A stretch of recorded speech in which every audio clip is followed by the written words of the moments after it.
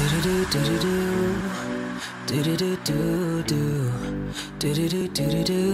my name is El-Storm. I'm Gio.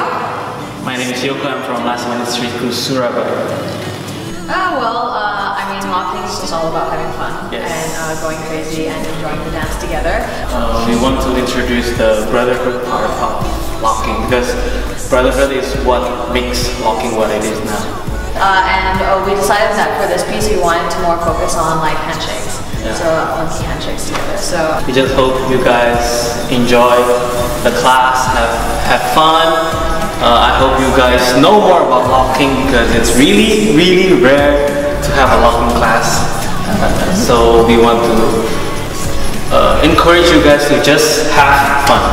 That is all. And stay funky. yes, just enjoy and stay.